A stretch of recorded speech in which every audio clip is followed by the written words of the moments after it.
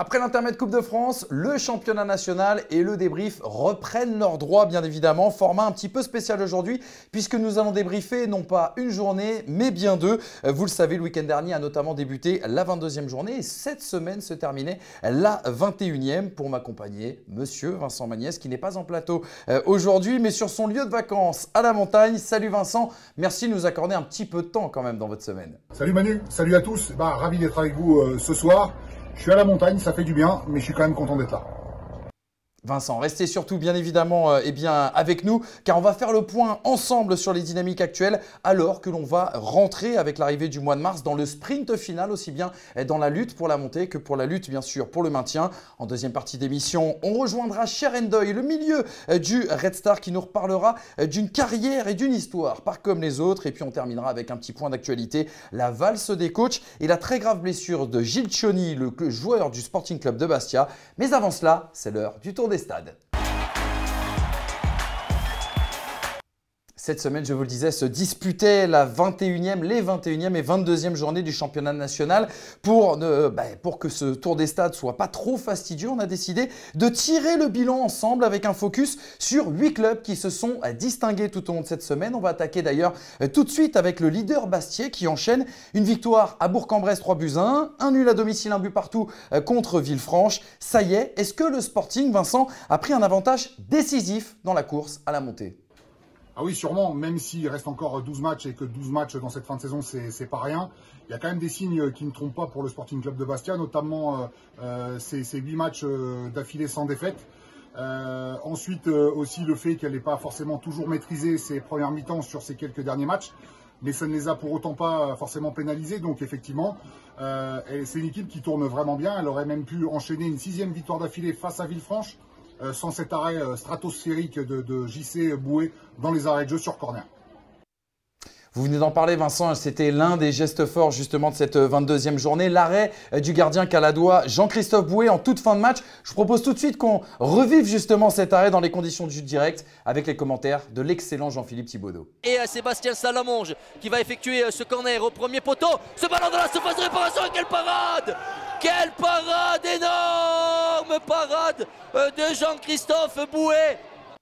À l'issue de cette rencontre, eh bien Mathieu Chabert, l'entraîneur du Sporting Club de Bastia, faisait le bilan d'un nul heureux pour le Sporting, quelque peu inconstant, il faut le dire, sur les demi-temps. Quand on ne peut pas gagner, il faut savoir pas perdre, il faut savoir euh, resserrer les boulons, il faut savoir euh, être costaud. C'est ce qu'on a su faire. Après, voilà, on a, Thomas nous fait les arrêts, nous fait 3-4 arrêts qui nous maintiennent en première mi-temps. On prend ce but sur c'est pas sur cette action-là qu'on doit prendre le but. On dort sur une touche, on n'est pas dedans et on se fait, sanctionner. Après, on a, eu une, une belle réaction d'orgueil, donc il faut retenir ça et corriger ce qui ne va pas surtout. Non, on n'a pas fait une bonne première mi-temps. Après, on ne va pas gagner tous les matchs 3-0, on ne va pas exploser tout le monde. Les équipes nous étudient bien, il faut qu'on soit capable de, trouver des solutions. C'est ce qu'on a su faire en deuxième mi-temps. Après, ça arrive de faire une, mauvaise mi-temps. Si on faisait que des bonnes mi-temps, on aurait 35 points d'avance déjà. Donc euh, on les a pas. La preuve que euh, il va falloir cravacher encore. Mais aujourd'hui, euh, voilà, voyons le verre à moitié plein et je vous garantis que c'est un, c'est, un point dont on se contente largement. Le leader Bastia poursuit donc son chemin et son dauphin QRM maintient le cap. Euh, on rappelle bien sûr une victoire hein, du côté, enfin contre pardon à 7 euh, qui fait suite à son élimination bien sûr en Coupe de France contre le Red Star. Vincent justement la question que j'ai envie de vous poser aujourd'hui, est-ce que les, hommes de Bruno Irles ont été aussi intéressants dans le contenu? Oui on peut dire ça comme ça si on regarde les deux derniers résultats, notamment sa défaite euh, à domicile face à Villefranche où on avait vraiment l'impression que que QRM n'aurait jamais pu euh, renverser la, vapeur. Et puis euh, sa petite victoire face à 7, entre guillemets, parce que c'est quand même une, victoire. Quoi qu'il arrive, c'est une victoire face à une équipe qui est restée invaincue depuis le début de saison à domicile et qui est restée surtout sur 5 matchs sans encaisser de but. On vous rappelle aussi également que le Red Star était privé de championnat du fait de nombreux cas de Covid-19 dans son vestiaire.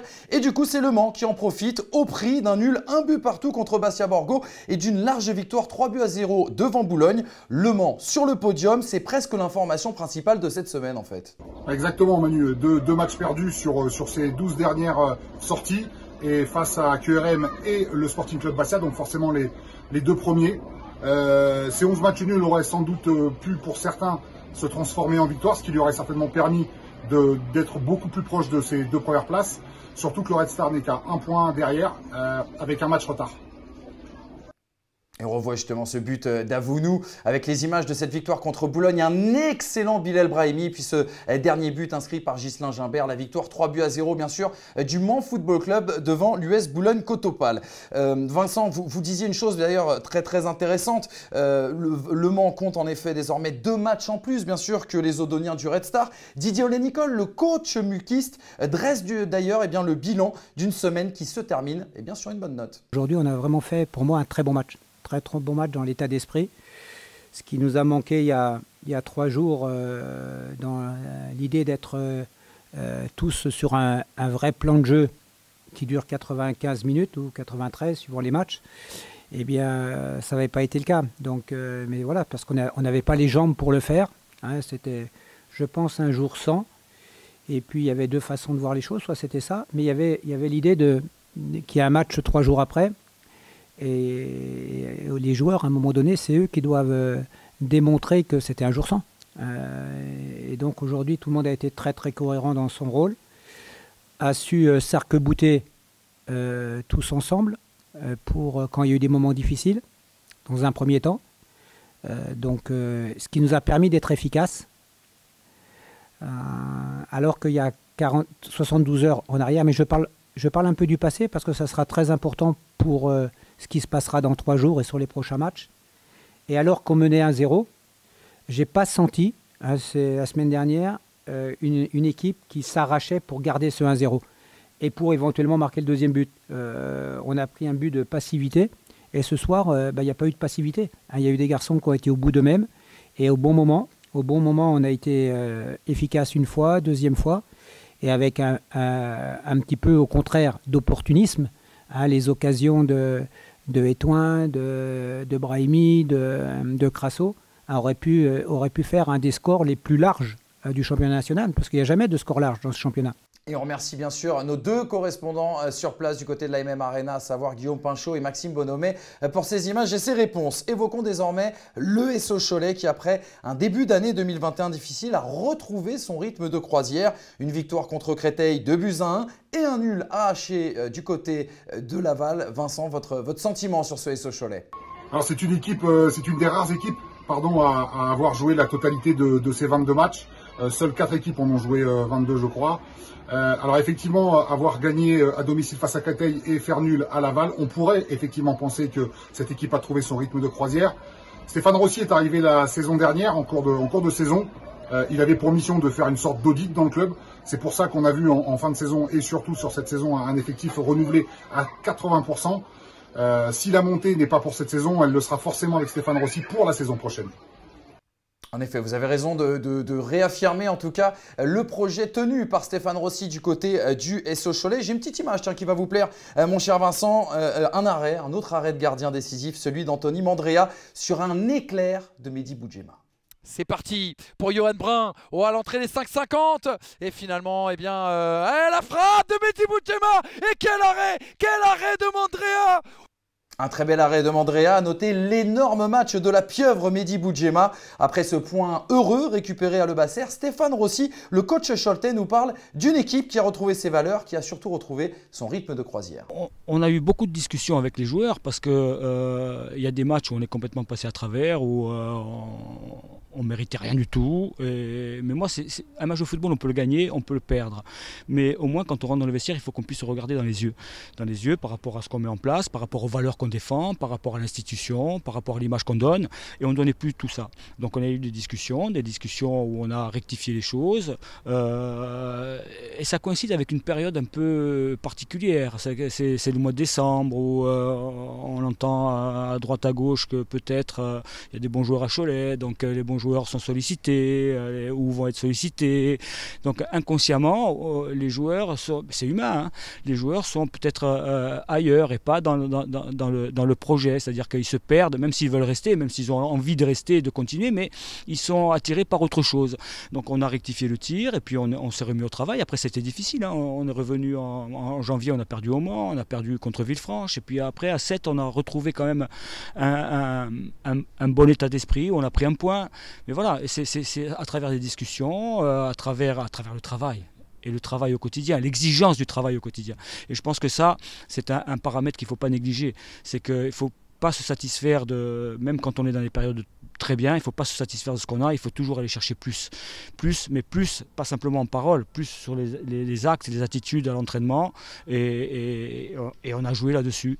Voilà, donc aujourd'hui, on a un semblant d'équipe de, Cholet qui ressemble à ce qu'on a vu en début de saison. Maintenant, à nous de ne pas nous endormir sur nos lauriers. Et quand on a la recette de, victoire, je dirais, quand euh, on, voit le, prix que ça coûte, quand en, termes euh, d'énergie, de, stress, de, fatigue mentale, parce qu'il faut se battre jusqu'au bout, il faut s'accrocher, euh, il faut être concentré, il ne faut pas faire d'erreur, bah, il faut continuer, il ne faut pas se dire que c'est facile, on va rentrer sur le terrain, puis il suffit de mettre le, maillot pour gagner. Donc euh, voilà, donc, euh, tout ce qu'on a, on a fait en début de saison, on le retrouve petit à petit, et j'espère aujourd'hui, en fait c'est mon travail, c'est mon job, j'espère qu'on va le garder le plus longtemps possible, et, en tout cas moi je serai le, garant de cet état d'esprit-là.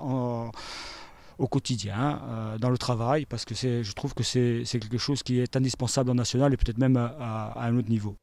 Après Cholet, évoquons un autre belligérant bien sûr dans la course au podium. C'est Orléans qui poursuit sur sa lancée du début d'année 2021. Oui, l'USO a été éliminé en Coupe de France sans perdre. Surtout, les hommes de Claude Robin donnent l'impression qu'ils n'ont sans doute pas dit leur dernier mot. Est-ce que c'est votre avis aussi également Vincent? Ah ben c'est sûr, c'est sûr, hein, trois points du podium avec un match en moins. Orléans euh, n'a effectivement pas dit encore son, son dernier mot, d'autant plus qu'elle reste invaincue depuis sept matchs. Elle va par la suite du championnat recevoir euh, Cholet, QRM, Bastia, Le Mans, bah, soit finalement les quatre équipes qui sont devant aujourd'hui. Ça pourrait être une donnée super importante à prendre en compte. Alors évidemment, il y aura aussi des matchs difficiles à gagner à l'extérieur. Mais si Orléans fait le plein à domicile, eh ben, il y a des chances qu'elle qu en grappille aussi quelques, points euh, hors, de, ses bases et elle ne devrait, pas, elle devrait pas être loin pardon, du, du podium en fin de saison. Vous évoquiez ce match nul justement à domicile contre Saint-Brieuc, un nul frustrant comme l'a expliqué Gaëtan Perrin au micro de François Poulet. Euh, oui, énormément de frustration, euh, pour ma part en tout cas. Après, je pense que pour l'équipe, c'est la même chose. Voilà, on, on sait qu'à domicile, il faut, il faut être euh, très costaud, il faut gagner les matchs. Voilà, ce soir, on est tombé sur une équipe bien en place. On n'a on pas su trouver la faille. Voilà, après, ça fait un 0-0. c'est pas ce qu'on était venu chercher ce soir, mais on continue d'avancer. On est toujours invaincu depuis maintenant un bon nombre de matchs. Donc, on va chercher le positif tout de même et avancer sur ce match de Cholet qui arrive samedi. Je pense que certes, être invaincu, c'est bien. Quand on ne peut pas gagner, il faut savoir ne pas perdre. Par contre, quand on est ambitieux comme, euh, on l'est, euh, car on ne se le cache pas clairement, euh, on, joue la montée. Donc aujourd'hui, pour jouer la montée, il faut faire des séries de victoires, il faut gagner les matchs. Et aujourd'hui, je pense que des 0-0 à domicile, ça suffit pas. Donc la prochaine fois, il faudra aller chercher les 3 points. Après avoir évoqué Orléans, Vincent, impossible de ne pas parler cette semaine de l'US Créteil-Lusitanos, les Béliers éliminés en Coupe de France, battus du côté de Cholet, qui ont rechuté à domicile contre le Sporting Club de Lyon. Le Parisien nous apprenait d'ailleurs hier tard dans la soirée que Richard Désiré était mis à pied deux mois seulement après son arrivée. Information confirmée par le club dans la journée. Dure semaine décidément pour les Franciliens. Alors évidemment, on peut dire que cette saison, c'est pas une saison qui est faite pour les coachs c'est euh, Richard Desireff et ça doit être le, quatrième ou cinquième coach déjà qui, quitte son club euh, euh, sans aller au terme de la saison. C'est Noir, oui, parce que quatre matchs sans victoire, cinq si on compte la Coupe de France. Après, il n'y avait pas encore forcément le, feu. Ils, étaient quand même à six points, six points devant le, premier relégable et seulement cinq points du, troisième avec un match retard. Donc, série noire, oui. Après, effectivement, coach, c'est très difficile en ce moment puisqu'on évoquait ce match entre Créteil et Lyon. Je pense que le but de Nathan Descoquet eh bien, mérite d'être revu avec les commentaires, bien évidemment, de Baptiste Vendroux. Yari. Oh, le petit pont, il est passé de la part de Decoquet là sur Jason Boyon. Decoquet en plein effort. La démonstration de De Coquet Oh, ça rentre Ça fait un but à zéro pour le Sporting Club de Lyon. Le festival de Nathan De Coquet une belle chevauchée de 50 mètres, certes face à une défense eh bien, cristolienne plutôt, plutôt apathique. Vincent, vous, vous parliez aussi également hein, de, l'information concernant le départ de Richard Désiré. Euh, Baptiste Vendroux, justement, avait pu le rencontrer à la fin du match contre le Sporting Club de Lyon. Euh, et ses explications concernant cette période de moins bien étaient peut-être déjà à l'époque lourdes de sens. Ça, j'ai beaucoup d'éléments d'explication et je vais euh, les garder pour moi pour l'instant. Euh, mais rien n'est jamais dû au hasard dans le foot. Donc euh, je suis un besogneux, j'ai une vraie culture du travail et une envie de mettre des choses en place qui euh, nous permettent d'être rassurés et confiants dans tout ce qu'on doit entreprendre. Donc voilà, on va, on va, faire le bilan de, de, cette période et en espérant inverser la tendance. On a, Allez Vincent, on passe tout de suite bien sûr eh bien, euh, à l'un de vos coups de cœur dans cet exercice 2020-2021. Euh, Je veux bien sûr parler du Stade Briochin qui nous offre un contenu très intéressant mais peine à prendre des points. On rappelle que les Briochins ont obtenu quand même un joli nul cette semaine du côté d'Orléans. Alors beaucoup d'entraîneurs opposés à cette euh, formation ont, loué les, qualités techniques de cette équipe et ont, vraiment eu beaucoup d'éloges à, son égard. Alors c'est vrai qu'elle n'est pas forcément récompensée, mais pour un promu, elle n'a perdu que six fois, mais en même temps, elle n'a gagné que 5 matchs, donc c'est pas évident pour le moment. Son dernier match face à Orléans à l'extérieur, euh, face à un gros, très gros du championnat, doit lui servir. Elle doit surtout continuer à prendre des points à l'extérieur. Alors forcément, ça va être compliqué parce qu'elle se déplace encore euh, deux fois d'affilée à Bastia Borgo et à Lyon. Ça va pas être simple, mais si elle y parvient, elle sera en confiance totale, à mon avis. Et puis derrière, la réception de, Créteil et derrière pourrait lui permettre peut-être eh ben, de faire le plein à domicile. À la fin de ce match, c'est l'entraîneur des Griffons, bien sûr, Maxime Dornano, qui évoquait ben, son sentiment un petit peu mitigé au micro de François Poulet. Voilà, c'est toujours bon de prendre un point à l'extérieur. Notre parcours extérieur n'est pas, pas folichon depuis le début de la saison. Maintenant, on, on était chez une équipe euh, invaincue depuis six matchs. Euh, mais partagé parce qu'on a, on a des bonnes situations euh, pour mettre ce petit but. Même si eux poussent à la fin, je pense qu'on a des, belles occasions, ça méritait peut-être un but. on, se, se, focalise clairement que sur nous. Voilà, on, sait le nombre de points qu'il faut atteindre pour se maintenir. Maintenant, euh, il faut, il faut rester, rester performant à domicile, aller prendre des points à l'extérieur comme on vient de faire aujourd'hui. Et puis la route se dessinera tranquillement. François Poulet qui a également rencontré Christophe Kerbrat euh, eh bien, à l'issue de ce match. De retour, Christophe Kerbrat en national, 10 ans après ses débuts du côté de, de. L'occasion d'évoquer forcément eh l'évolution sur cette dernière décennie de votre championnat préféré. Moi, je trouve qu'il a changé de manière. Euh, parce que les, équipes sont, sont toutes euh, vraiment maintenant, les clubs sont structurés, les équipes organisées. Et je trouve qu'il a vraiment monté en niveau et qu'il se, rapproche de quasiment la Ligue 2 pour moi c'est que mon avis, mais euh, je trouve que c'est du, haut niveau et, voilà, les matchs sont en général plaisants, surtout quand, quand on joue sur un beau terrain comme, comme ici. Donc euh, voilà, c'est plus facile pour, pour faire des beaux matchs de foot. Un dernier focus désormais sur une équipe qui va mal, qui va mal en termes de points, euh, surtout Boulogne-sur-Mer, qui a pourtant réalisé une première période très intéressante au Mans avant de s'incliner lourdement 3 buts à 0. L'inquiétude qui monte sur la côte d'Opale. Votre avis sur la situation, Vincent? Oui, surtout lorsqu'on lorsqu'on regarde encore une fois le, parcours de la saison dernière où, euh, où, juste avant cette pandémie, en fait, Boulogne était troisième et peut-être que si le championnat s'était avait continué, elle serait montée en Ligue 2. Aujourd'hui, cette même équipe est, euh, est avant-dernière et c'est vrai que c'est compliqué. Alors, euh, c'est incompréhensible hein, de, de, de, se dire que cette équipe avec cet effectif peut jouer sa survie sur les semaines à venir, mais pourtant, on dit toujours que dans le football, il faut marquer des buts, et là, c'est l'un de leurs gros péchés. En fait, ça marque très très peu. Surtout, ils en prennent de plus en plus ça commence à être compliqué. Alors, il lui reste encore 14 matchs, avec euh, deux matchs, euh, deux matchs en moins encore à, jouer. Elle va recevoir 8 fois sur ses 13 derniers matchs. Euh, c'est une, à mon avis, une histoire d'homme qui, qui doit commencer pour Boulogne. Allez, on fait un petit point sur le classement. Avant, je vous le rappelle, le début de la 23e journée qui se tiendra dès samedi sur les antennes de FFF TV. Et puis lundi, bien évidemment, avec l'affiche euh, sur Canal Plus Sport. On le regarde ce classement. Bastia, leader avec un match en plus et 5 points d'avance sur QRM. Le Mans qui compte 2 matchs en plus que le Red Star affiche 1 point de plus. Cholet également avec 2 matchs en plus que les Odoniens pointent à 1 point de retard dans la zone de relégation. Bourg, Lyon, Annecy et Boulogne. Mais attention, 8 matchs en retard restent à disputer pour que la hiérarchie soit peut-être un petit peu plus claire à nos yeux. Avant d'aborder l'actualité du national, je vous propose tout de suite de rejoindre notre invité pour évoquer une histoire extraordinaire. C'est l'heure de l'entretien. Notre invité s'est révélé dans ce championnat national. Il a depuis joué en Ligue 1, a disputé une Coupe du Monde et connu aussi également l'étranger. Il est de retour cette saison au Red Star. Monsieur Cherendoy est en duplex dans ce débrief. Bonjour cher, comment ça va?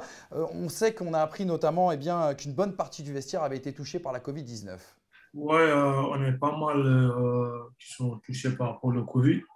Mais le reste du groupe est là, ça va, on, s'entraîne en attendant euh, pour, bien préparer le match euh, suivant qui va arriver bientôt.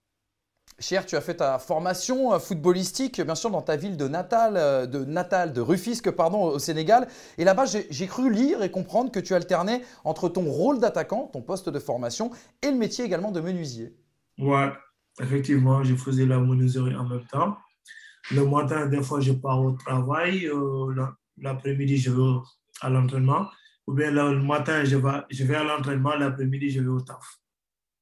Évoquons désormais une année importante quand même dans ta vie, c'est l'année 2009, euh, l'arrivée bien sûr en France, l'arrivée du côté notamment d'Épinal, la découverte aussi bien sûr de la neige. Raconte-nous un petit peu comment s'est passé cet apprentissage. On est arrivé en France le 26 septembre. vendredi soir, 26 septembre, à Charles de Gaulle. Après, on a dormi à Paris. Le lendemain, on est parti à Épinal, dans les Vosges. On ne connaissait pas Épinal.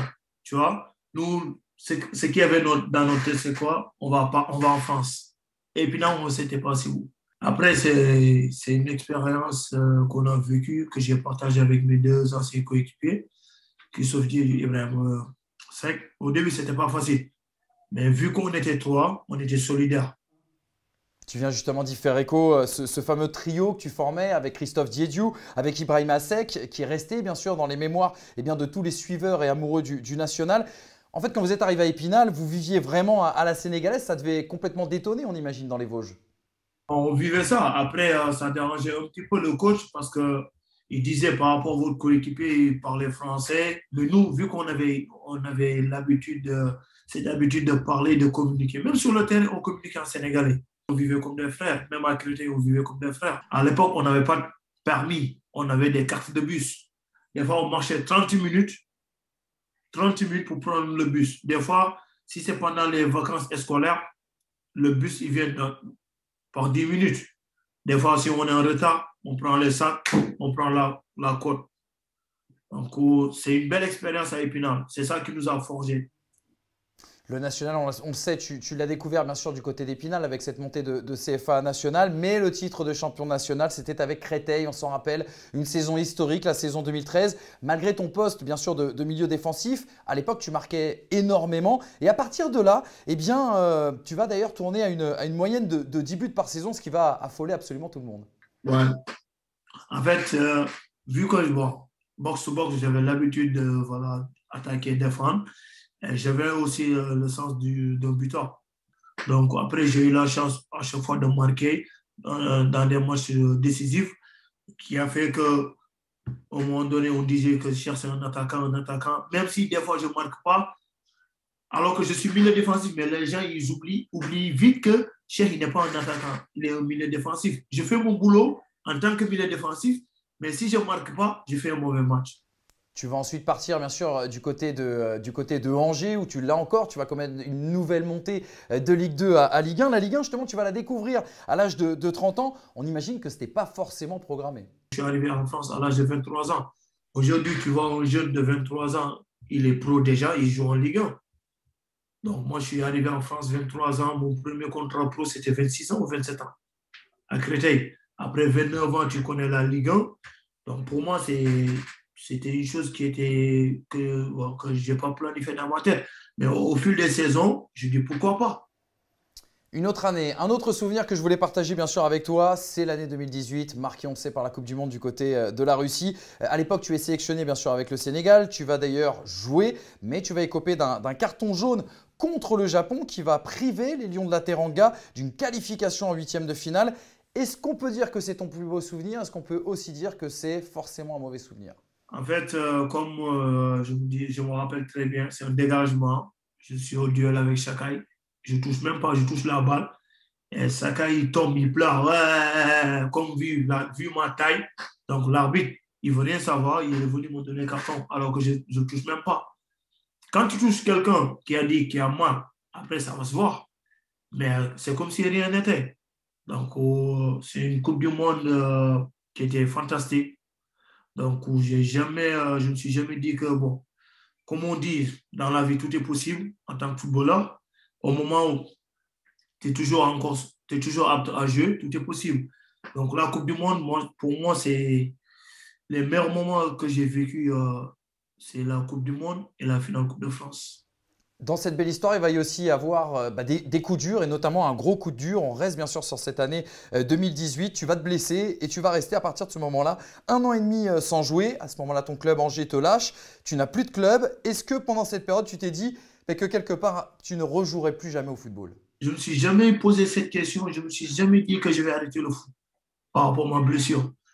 Parce que je me rappelle le premier jour que j'ai vu le doc qui m'a annoncé, voilà, euh, je l'ai croisé, nanani, nanana. Il m'a dit, il demande que la patience. Il demande que la patience, c'est le travail et la patience. Et je lui ai répondu, si c'est le travail et la patience, ça, n'y a pas de souci. Parce que je me connais. Je sais que je suis un travailleur et j'ai la patience. Après, l'histoire avec Angers, pour moi, c'est une trahison. Parce qu'ils m'ont laissé partir. Ils m'ont fait revenir on a signé un accord.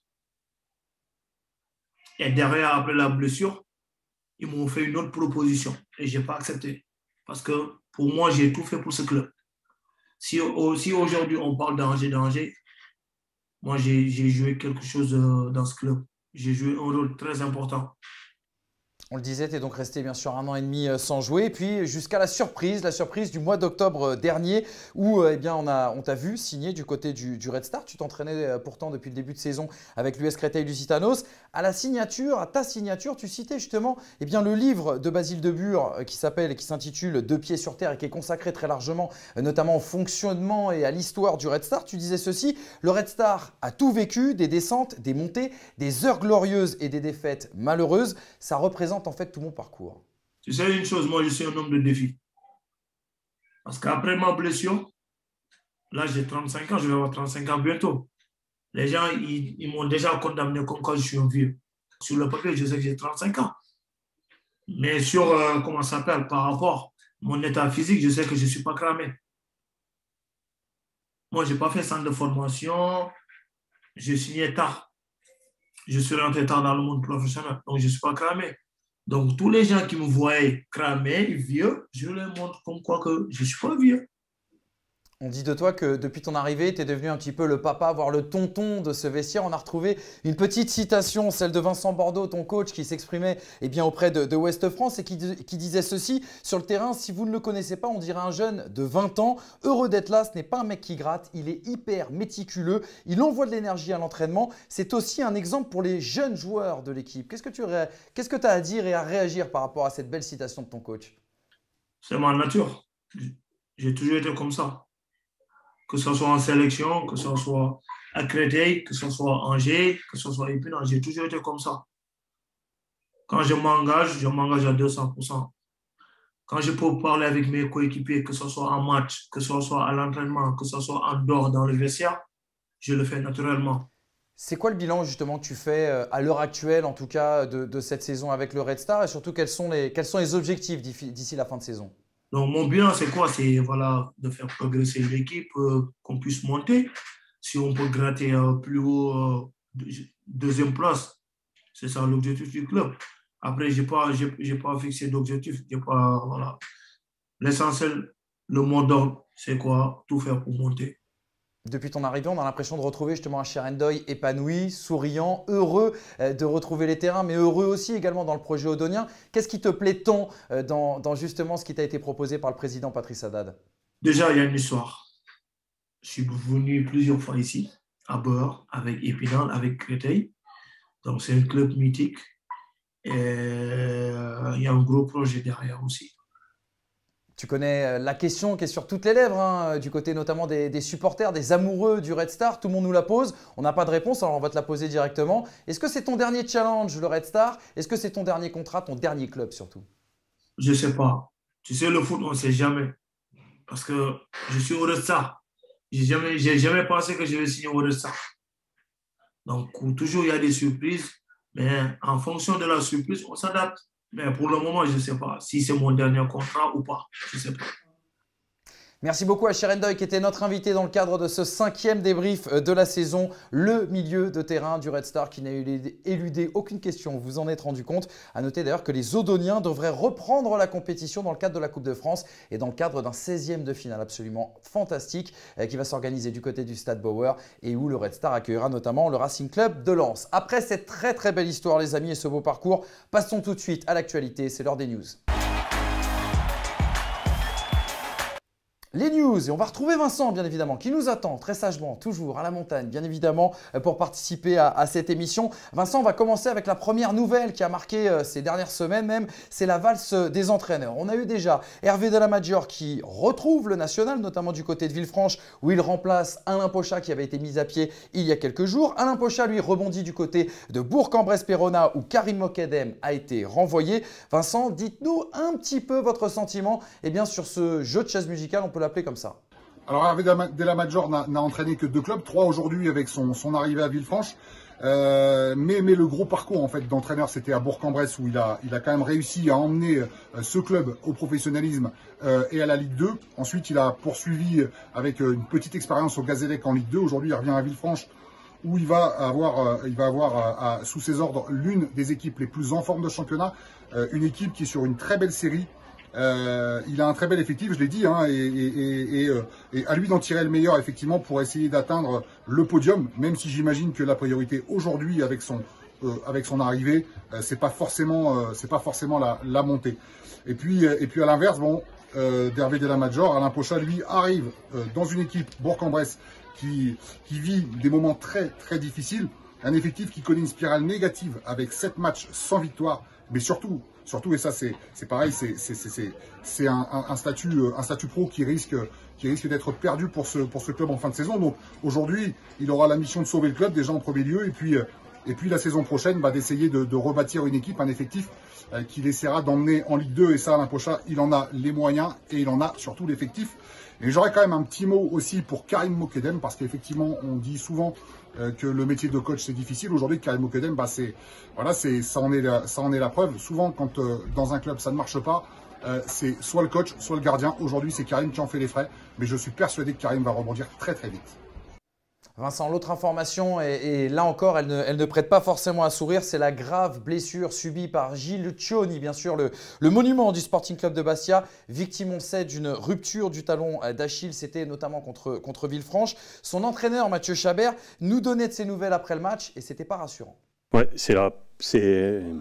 On est triste ce soir, parce que je pense qu'on a vu le dernier match de, de Gilles Cioni il est gravement touché au tendon d'Achille. Donc, euh, on va, il va falloir qu'il se fasse opérer rapidement. Et je, enfin, je suis pas docteur, je suis pas un truc, mais bon, on attendra le, bilan médical. Mais bon, c'est une grave blessure au tendon d'Achille. On souhaite tous bien sûr revoir Gilles Cioni sur un, terrain de football, euh, en activité bien sûr de, joueurs, et Mathieu Chabert, on l'imagine, euh, le premier. Vincent, je crois que vous avez eu l'occasion justement de, prendre des nouvelles un petit peu au sein du club. Euh, on, rappellera et notera que Gilles Cioni justement a été opéré avec succès de cette rupture du, talon d'Achille. Quelles sont un petit peu les nouvelles? Quel est votre sentiment sur cette nouvelle malheureusement bah, pas très heureuse? Alors c'est très très dur effectivement pour Gilles Cioni, un garçon formé au Sporting Club de Bastia, qui était déjà euh, blessé euh, depuis mi-octobre. Il est revenu. Aujourd'hui, il se fait euh, rupture totale du tendon d'Achille. C'est très très dur. C'est vrai que pour, pour, pour, ce garçon qui avait accepté en 2017, après le cauchemar financier de rester au Sporting Club de Bastia en N3, en croyant au projet du président aujourd'hui, il y a cru, en tout cas à juste titre, parce que le Sporting Club de Bastia est sur le point de, de, remonter, de remonter en Ligue 2. Mais dur de se dire que, que ce garçon, effectivement, ne, ne pourra, sera euh, pas euh, au, match euh, potentiel de cette, montée en Ligue 2. Mais après, j'ai envie de dire que quand on voit la carrière de Benjamin Nivet, qui a joué, qui a joué au plus haut niveau jusqu'à 40 ans, et, connaissant Gilles Sioni, le combattant qu'il est, il a encore quelques saisons pour nous montrer qu'on avait raison de croire en lui. On souhaite bien évidemment un prompt rétablissement à Gilles Chioni et on sait que voilà, cette blessure a marqué tous les acteurs du championnat national, que ce soit forcément les suiveurs du Sporting Club de Bastia, certains joueurs également qui ont tweeté tout au long de, cette semaine. Et on espère, on espère, on espère et on souhaite le revoir bien sûr sur un terrain de euh, football. Merci Vincent, merci pour tout. Profitez bien de vos vacances. Revenez-nous bien évidemment euh, en forme. Et en attendant, je vous rappelle que samedi, hein, le National reprend ses droits pour la 23e journée. Alors restez branchés, ça se passera dès samedi sur FFF TV et dès lundi aussi également avec l'affiche Canal Plus Sport. C'est la fin de ce débrief. Nous, on se retrouve très rapidement dès lundi prochain. Il n'y a pas de temps mort, c'est ça qui est bien. Et euh, d'ici là, bah, on se quitte avec euh, le zapping de, des moments coulisses dans vos clubs préférés. Prenez soin de vous à très très vite.